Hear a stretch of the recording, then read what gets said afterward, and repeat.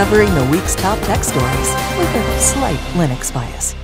In an era of digital eavesdropping where hackers employ a variety of means to take over built-in video cameras, peruse personal digital data, and snoop on cellular conversations, researchers have seen the light, literally.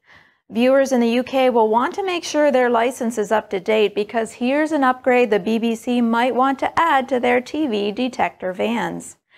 Israeli researchers report that they successfully tapped into speech and music inside an apartment simply by focusing on a light bulb.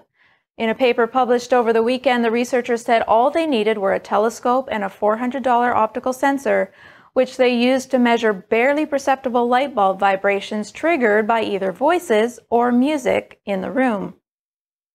The research team conducted the test by pointing a telescope towards a light bulb in an apartment building 27 yards away.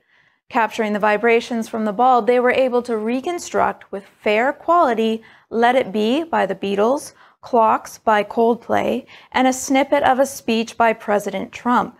The researchers said, we show how fluctuations in the air pressure on the surface of the hanging bulb in response to sound, which cause the bulb to vibrate very slightly, a millidegree vibration, can be exploited by eavesdroppers to recover speech and singing passively, externally, and in real time.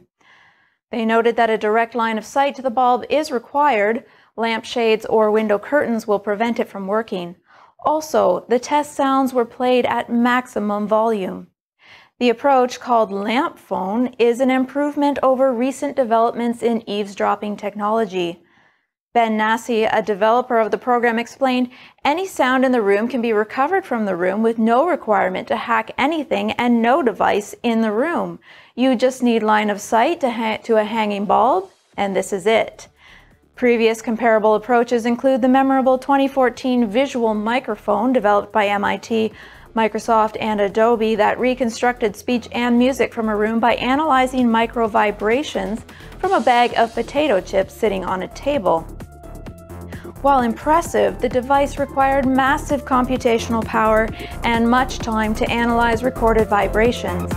Lamphone can be conducted in real time.